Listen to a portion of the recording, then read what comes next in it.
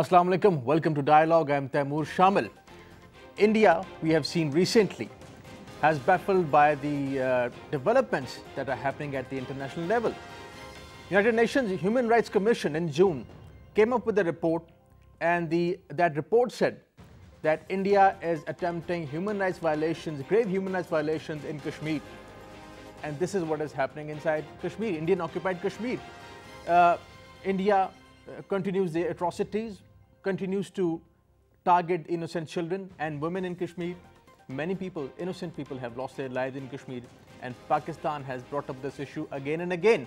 Uh, baffled by this development, as I said earlier, India has been uh, attempting different tactics uh, and also maneuvers to uh, divert the attention of the world community, international community, from the Indian occupied Kashmir and the atrocities over there. Yesterday, interestingly, there was a SAARC uh, session going on on the sidelines of United Nations General Assembly. And yesterday, once again, India did what India is good at. India, uh, Indian Foreign Minister Sushma Swaraj, the Ministry of External Affairs, she left this session abruptly. And uh, what Shah Mahmood Qureshi, Pakistan's Foreign Minister, said after she left, we'll listen to him. And after that, we'll continue our discussion on Pakistan-India relations and what BJP government is up to now.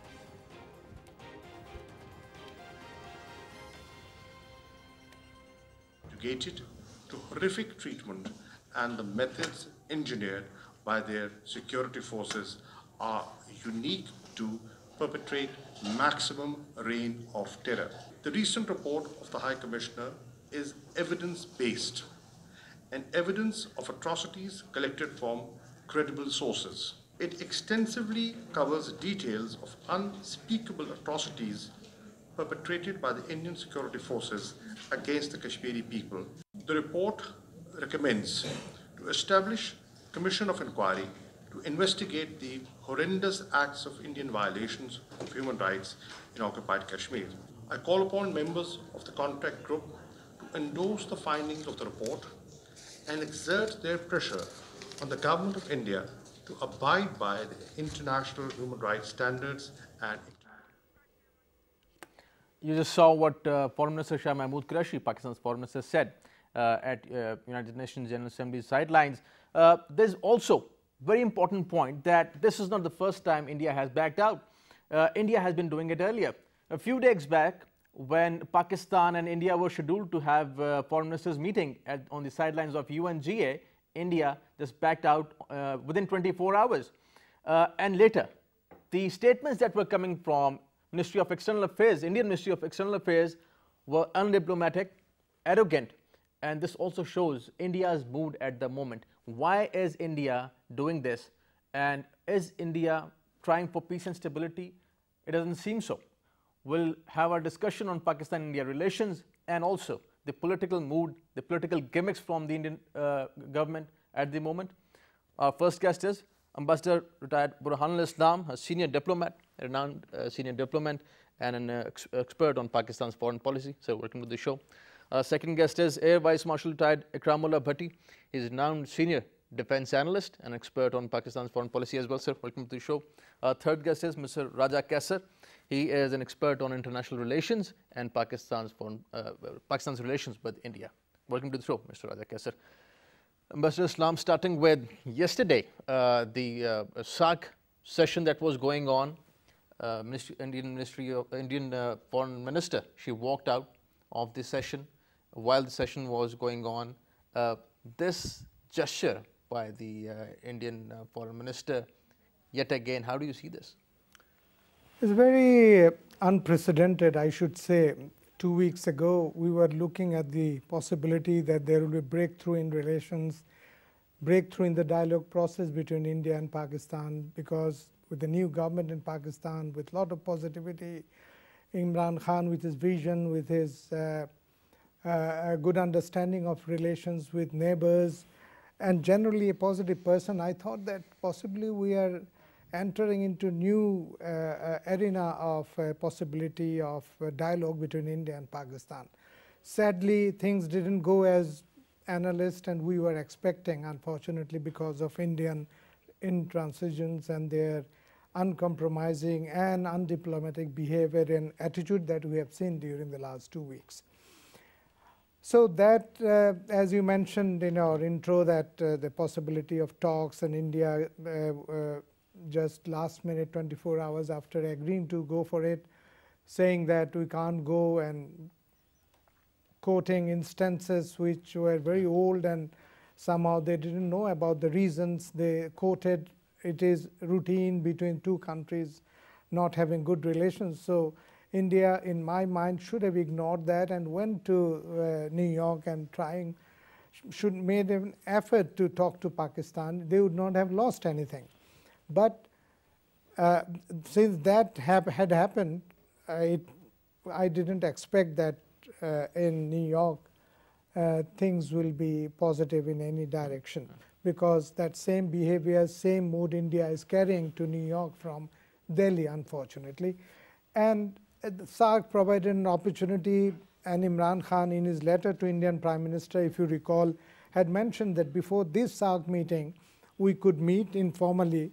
And uh, it is not a dialogue, but at least a, an, a, a, meeting to know about each other, each other's position on future relations between our two countries. Right. It could be a good beginning of a relationship they could pursue in the next few months and years. But understandably, India is not yet ready for dialogue, and this is how they behaved very undiplomatically in uh, at the SAARC meeting. Normally, my experience in New York is that even if you don't like one party in New right. York, mm. you don't do this sort of stuff. You have gone there maximum, you'll shake hands, say hello, and don't criticize each other, don't talk about each other. But it's a courtesy. It's huh? a courtesy. Uh, that is what I have seen four years that I served in New York. But I was really baffled at seeing this sort of behavior.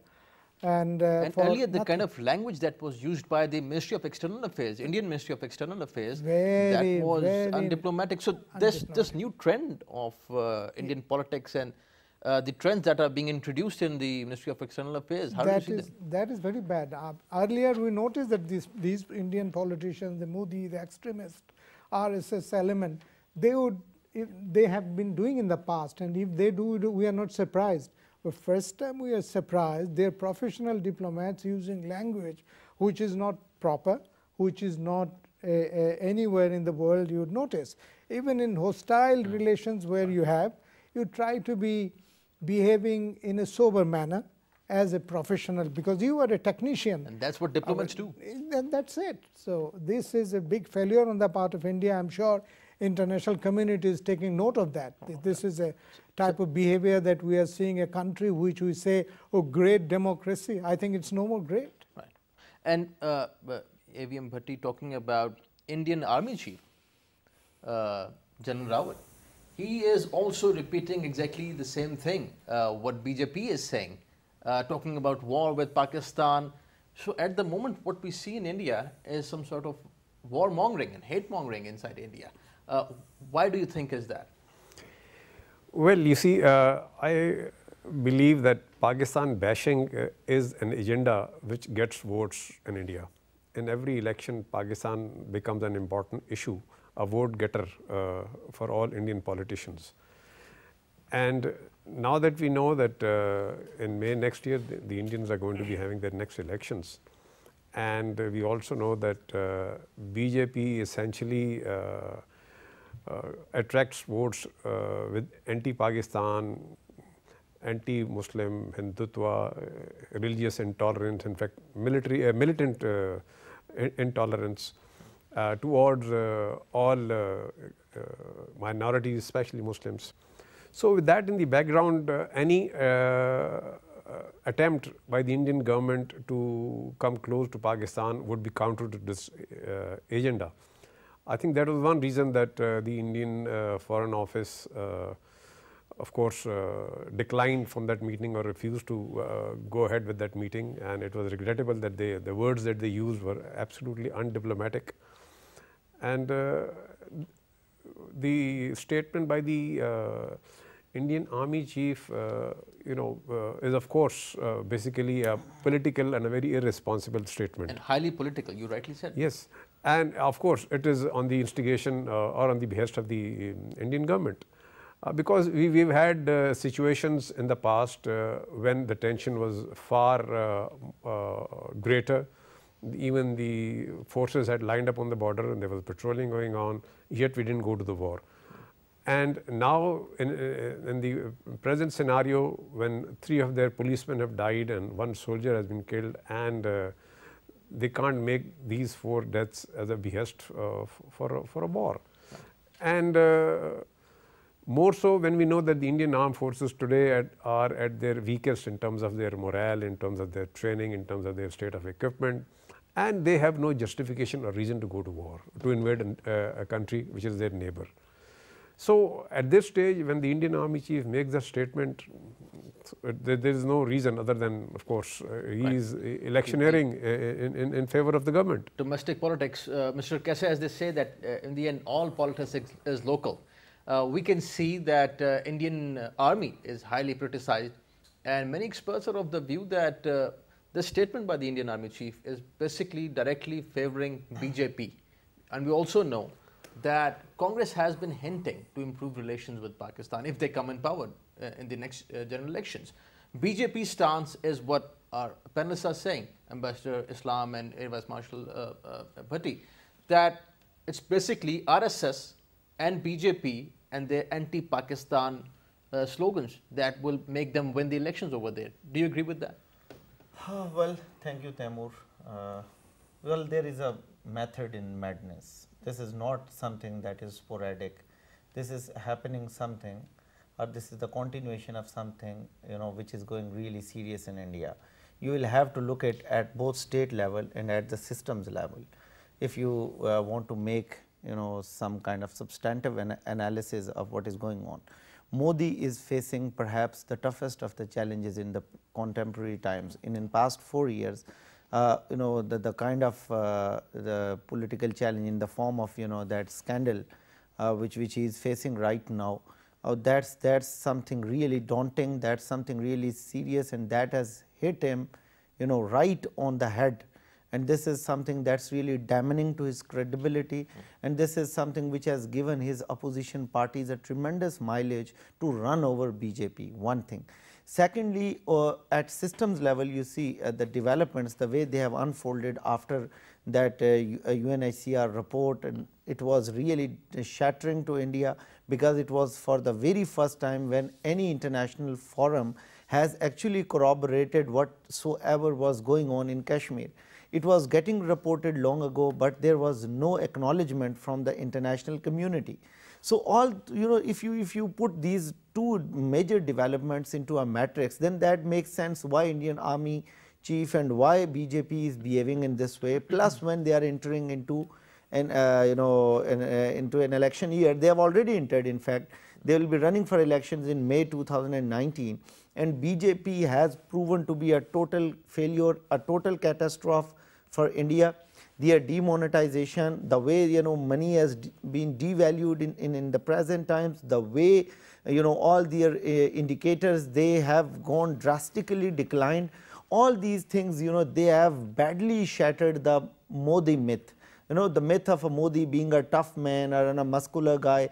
Their Kashmir policy has outrightly failed plus they wanted to isolate Pakistan within the region and internationally they failed miserably because China-Pakistan economic corridor has altogether changed the contours of region you know uh, with, with China's uh, explicit engagement with Pakistan. Right. So, you know if you see all these things, so this frustration becomes the most likely scenario and this makes sense why, why BJP is behaving in this manner and why they are uh, actually you know going crazy over all these things. Right. So, if you see uh, the way they have behaved in past 10 days when Premier Imran he has uh, given a very positive gesture though that was very untimely you know the ruling dispensation in Islamabad should have calculated uh, uh, this uh, you know calculus of the timing if it is appropriate or not.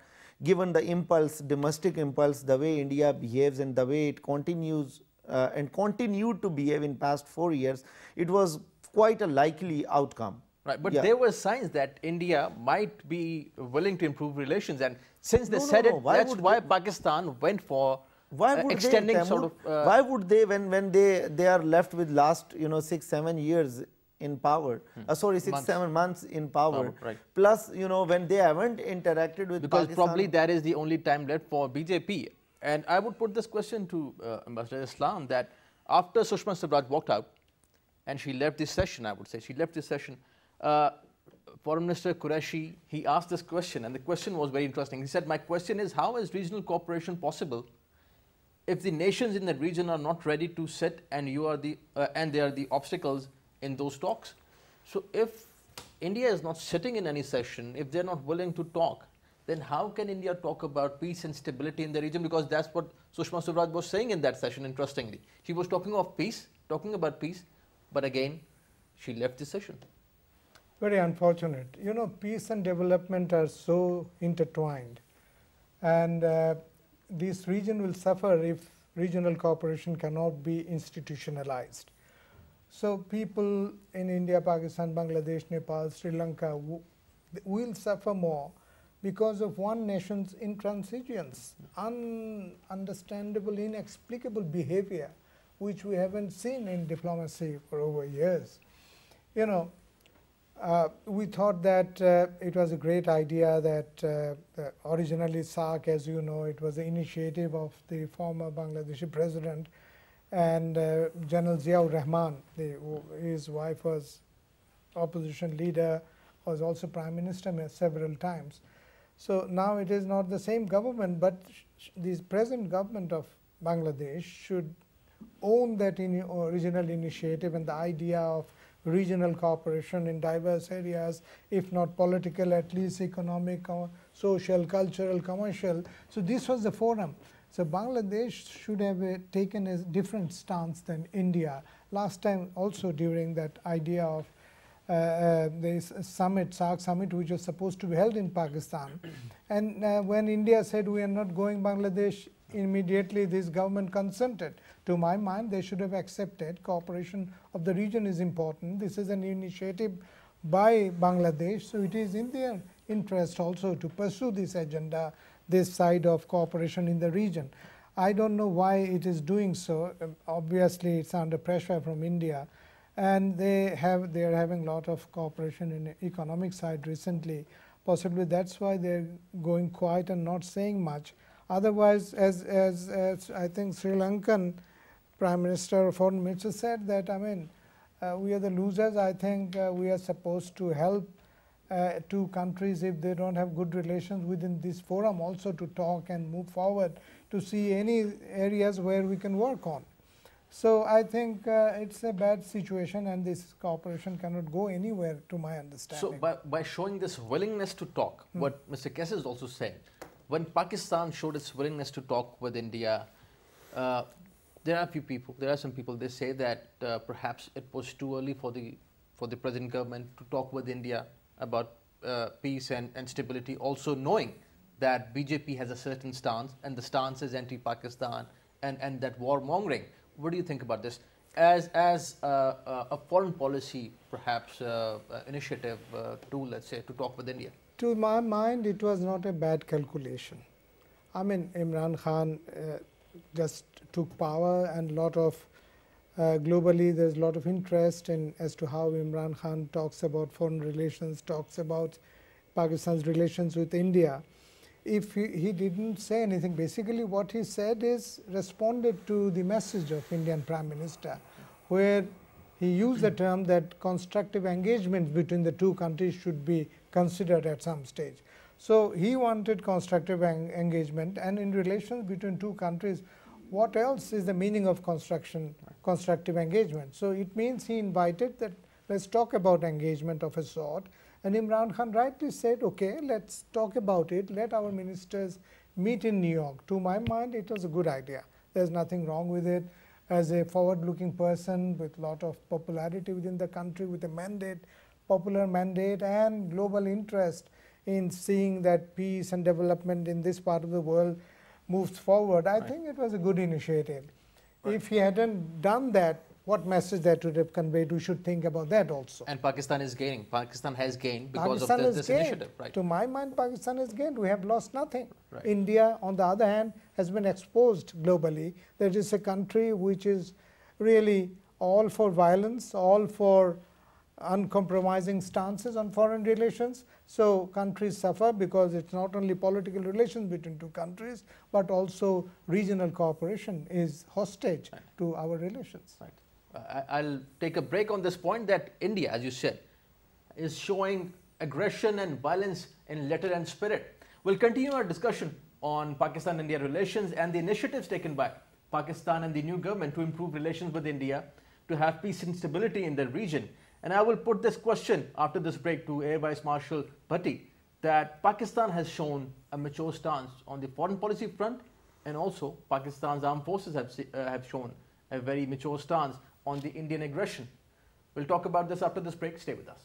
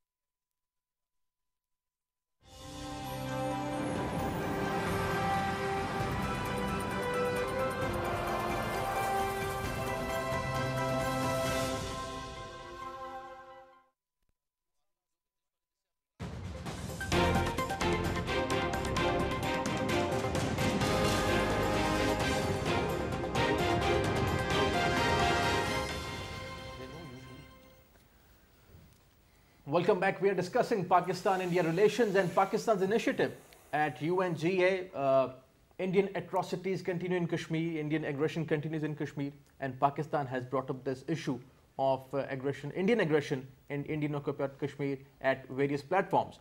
Uh, Pakistan brought up uh, this issue uh, at the OIC meeting uh, on the sidelines of UNGA, and India, we see now, is baffled by the, the developments regarding Kashmir at the international platform.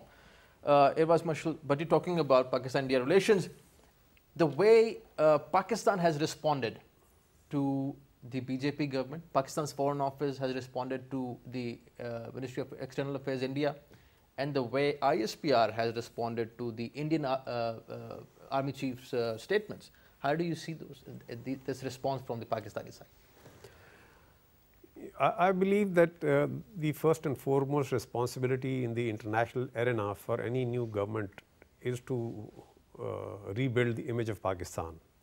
And we know uh, with this uh, US mantra of do more and Pakistan having these hideouts for the terrorists and the Indian uh, so-called blame, blaming Pakistan for uh, you know causing terrorism in India, especially in the Indian held Kashmir.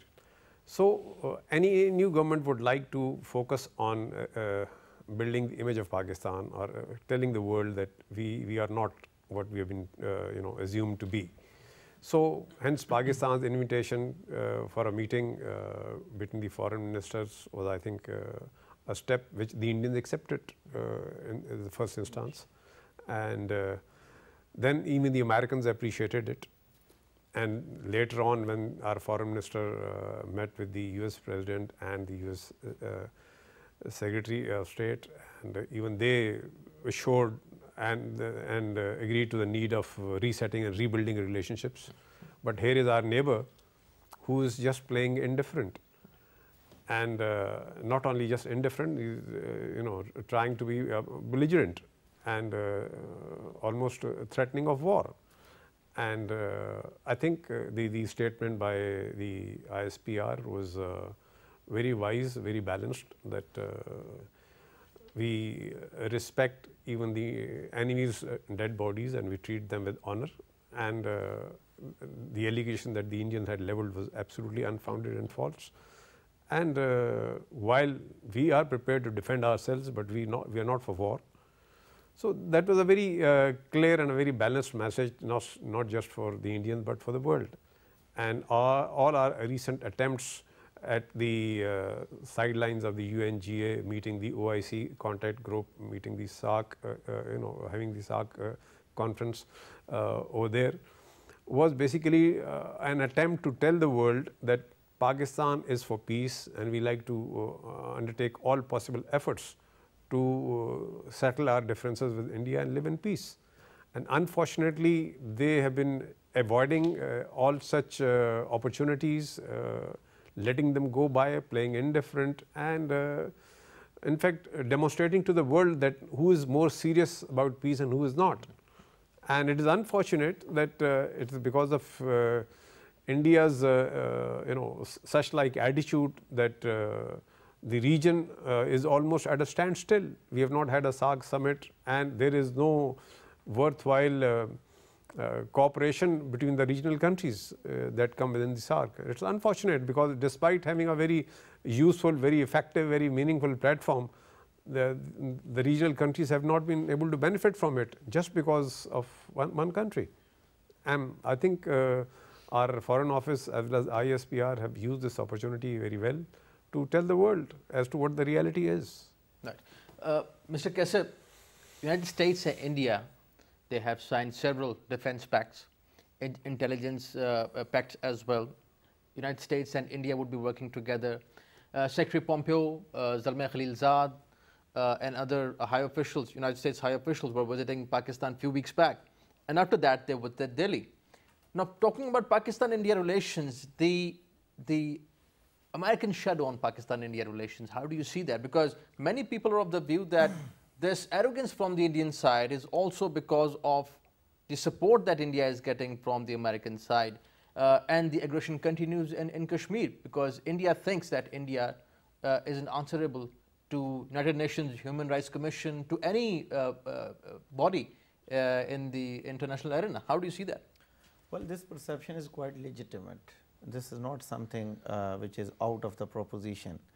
One thing uh, you see, uh, or what I perceive is that American security calculus of South Asian region is pretty myopic. That's why they are suffering in Afghanistan as well. That's why they haven't had any uh, achievement, you know, in, in, in their two decades of their uh, stint in Afghanistan. The reason being, you know, Americans had tried to reconfigure this region. This region, South Asia, traditionally had been India and Pakistan. What Americans did uh, primarily under Obama administration was to bracket Pakistan along with Afghanistan and to bracket India along with China, which we famously call as hyphenation and de-hyphenation, which they had been doing. And, and this is something which had actually changed the trajectory of the region.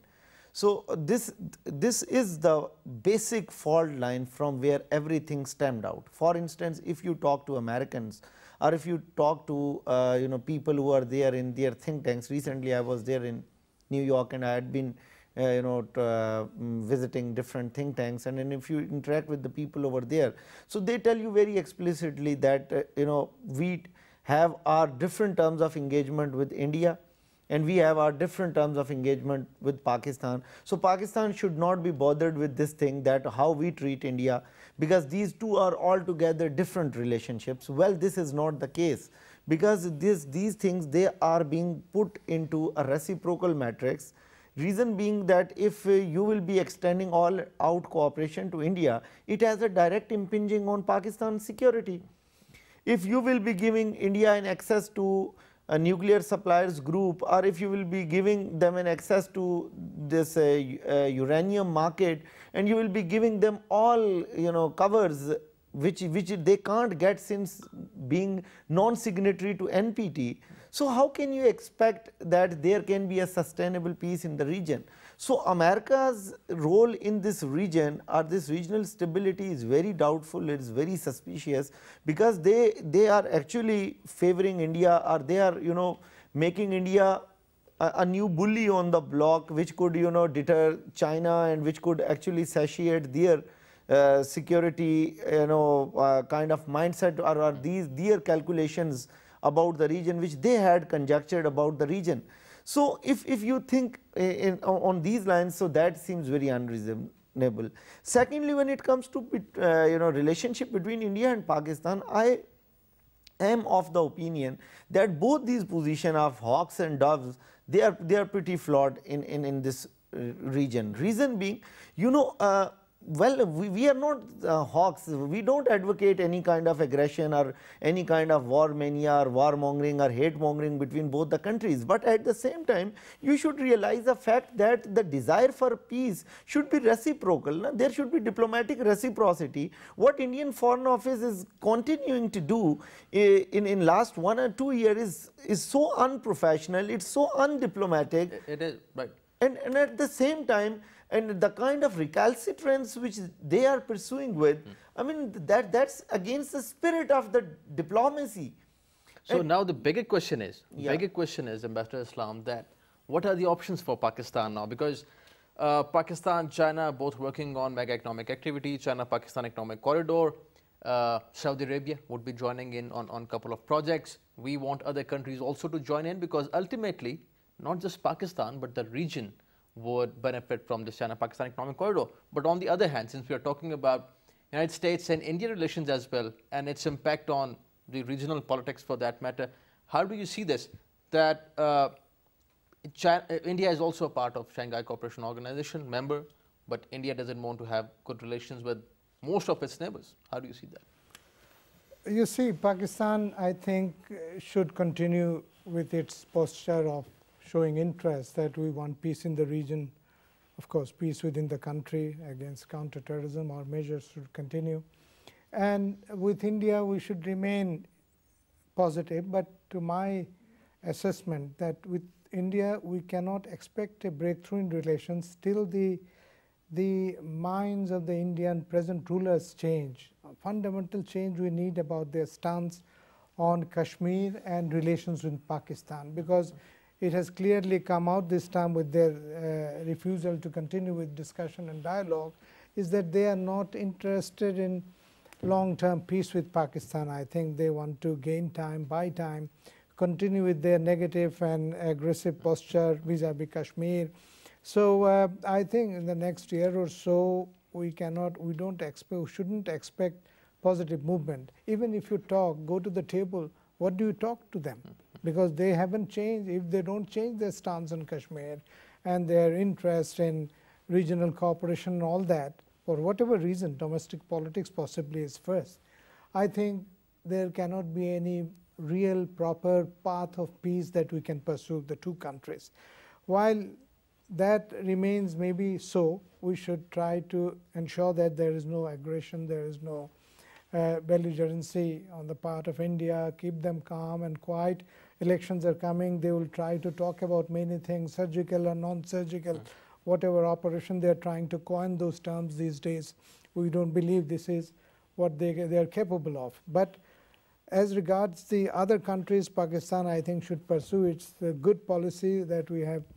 Imran is reviewing a little bit some of the aspects of CPEC. I think good idea. Saudi Arab has uh, shown interest, apparently, as we see from the statements of the government officials and the ministers. The Saudis are keen on helping Pakistan. I think it's a positive side. We should also try to engage Iran, if possible, in some way, if on CPEC, because we shouldn't care much about what the Americans say. I think in some form we should uh, uh, have some sort of economic relations with Iran also, so that we have balance with Saudi Arabia and uh, and Iran. And if they also are in a position to invest few couple of billions of dollars on CPEC, uh, we should be considering seriously. And this gas pipeline issue the, with Iran, I think should be revived. To my mind, this is time to start with. American uh, nods and their interest and disinterest should not influence our policy and relations with Russia should be pursued very seriously at this stage. And, and perhaps, Evas Marshal Bhatti, that this is what also uh, Prime Minister Imran Khan hinted at when he was in Saudi Arabia and he said that there is this, this war going on in the Muslim world and that we need to put an end to the chaos in the Muslim world. By saying this, uh, it was well received in the Muslim world that he's talking about having better relations among the Muslim states. Iran for that matter, and Saudi Arabia and other countries, and Yemen for that matter. How do you see this statement and uh, uh, having better relations with the neighbors? You see, uh, while this statement is of course uh, very, uh, you know, very welcome within the Muslim world and it's very constructive. Uh, but to begin with, you see, Pakistan must first of all come into a position where it becomes more relevant and where it gets to be heard. And for that, I think our focus should be, uh, should be first on making ourselves politically stable and economically strong. And if we are, we are achieve these two targets, then we will be heard anywhere and everywhere in the world. We, we get exploited just because of our, these two weaknesses. And as regards, you see, uh, our options with India uh, and, and with the Muslim world they will improve, they will increase the moment we are, you know, politically stable and economically strong. We, we have, you know, this international forum as UNO, we have already tried that. Unfortunately, it has not worked. But I think we, at the regional level, we have SCO, which can be more effective than UNO as far as the relation between India and Pakistan are concerned. Because I believe China is one country in the world which, uh, besides Pakistan, is will be the most interested in a good relationship between India and Pakistan. Right. But since we talk about India and Pakistan relations and better relations, many experts are of the view that it doesn't matter if Congress is there in power in India or BJP is in power. When it comes to Pakistan, they're almost the same. Do you agree with that? No, I think Congress, uh, uh, at least on the face of it, appears to be relatively more pragmatic and no, not so much, uh, you know, uh, extremism driven or uh, more uh, it's, you know it, it, doesn't believe in Hindutva and it, it, people are a little more comfortable and it, doesn't have that religious intolerance. And uh, we, we from the, on that count I think we can uh, be a little more hopeful towards Congress. Whereas we've had even good relationship in the time of BJP earlier on. But I think uh, under the present circumstances uh, Congress may be uh, in a better position to uh, have mediation with Pakistan and you know sort out our differences. And be it Congress or BJP, I think the, the Chinese or you know even the Russians can have a favorable influence the, uh, to the question of India-Pakistan, good relations and peace. Right.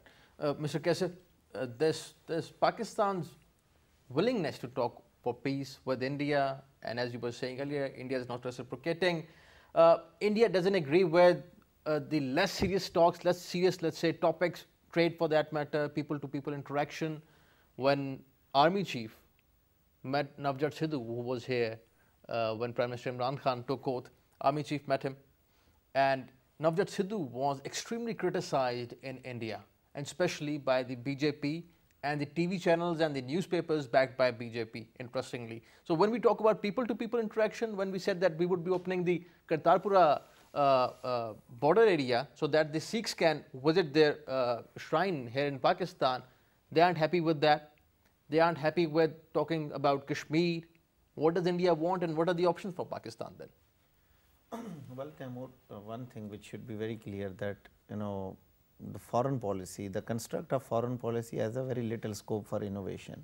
Usually it is altogether a status quo construct. I mean, you cannot much play around unless you know you, you can you can be just you know fixing the basis of the foreign policy or seldom we come across any paradigm shifts in foreign policy. Right. So, for that matter you know uh, Pakistan one thing you know which, which Pakistan can do that we have been investing a lot in track 2 and track 3 vis-a-vis India. Why not we, we, we employ these kind of track 2 and track 3 with, with our other regional players mm. as well with Iran for that matter, for instance Russia, for instance Afghanistan. So, I think we have pretty uh, a lot of active track two uh, uh, dialogues going on with Afghanistan for that. Yeah, yeah. And Not much, maybe yeah, perhaps with, but, with but Iran or Russia. Something, something more a proactive regional approach, uh, a multilateral diplomacy, which which should be aiming at doing uh, or achieving something which is uh, substantive, or, or which is something you know which can actually help Pakistan's national security or, or or something you know national interest for that matter. So explore so, more options, more avenues. Yeah, more in, avenues the, in the region. Right. So uh, unless and until you know this Modi government is there, you cannot expect any kind of serious engagement right. between both the countries. India twice has missed the chance. I mean, twice they had the, the, the initiative and twice they missed it. One, when Premier Nawaz decided to attend the swearing in ceremony of Premier Modi, right. and, and that was the time when it, this this uh, gesture or move of him was not welcomed in his country, but still he went a step ahead. He went an extra mile and he attended that ceremony. That was the time where India could have capitalized on. Second thing, when this time, when both, you know, im, im, under Imran, when civil military relationship is somewhere onto a harmonious trajectory, this time India could have capitalized and should have capitalized on it. I, I believe they have, they have missed the chance. I will. I'd like to. This point that India has missed the opportunity. India has, right. no doubt about it, and I don't know how it can be brought back to track. It may take some time to my reading, but one, I'll go back to the previous topic sure. if we allow. That's about the uh, relations with the regional countries. I think Pakistan can make a breakthrough with Bangladesh, and it is very important that we should take Bangladesh out of the Indian track and basket by suggesting, you remember that Imran Khan suggested that 2.5 million Bengali population or Bihari people in uh, Karachi should be given passport and ID. Right. I think it's a great gesture. Our foreign policy should, foreign ministry should think about it and try to take advantage of that, send a special envoy to Dhaka and to tell that, look, you have a, this much a big population that we are offering citizenship. Right. And while India is trying to kick out about 33 uh, million, I think, of Bangladeshis who went in 1970, right. while we are allowing your 2.5 million citizenship or ID card of some sort. I think it's a great gesture from Imran Khan. I would say he's a visionary man if he had thought about that our relationship with Bangladesh should improve. Right. And this is how we can take India, Bangladesh out of Indian you know, influence. So send an envoy, foreign office should seriously think about and improve relations with Bangladesh. And with Sri Lanka, we are in good track, and rest of the countries we already know.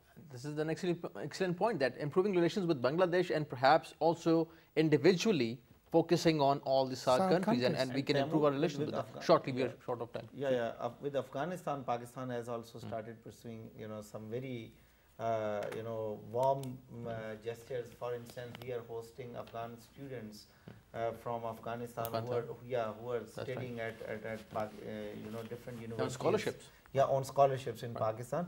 This is something you know which which really cultivates a goodwill hmm. um, in, in in other countries about you, and and the rest of the countries which has which had a suspicion hmm. about Pakistan's right. role, that should be perhaps eliminated through proactive diplomacy. Certainly. And Pakistan should really work right. on that. Thank you for joining us, gentlemen. Thank you for joining yes. us, uh, Master Islam. Pleasure having you on the show. Uh, was Marshal Bhatti, thank you for joining us. Thank you for your time. Mr. Kaisar, thank you for joining us. India continues its aggression in Kashmir, and we have been talking about this. Uh, I would just conclude what our panelists said. There are options certainly for Pakistan, and by being open to peace talks with India, Pakistan has been gaining. The response from Pakistan to the Indian aggression is very mature on the foreign policy front, and also uh, the way Pakistan military has responded to the Indian military is also very mature. That was a mature act because Pakistan stands for peace and stability in the region. But any sort of misadventure from the Indian side would also be reciprocated and paid back in the same coin. Thank you for watching uh, today's program. See you next time. The Office.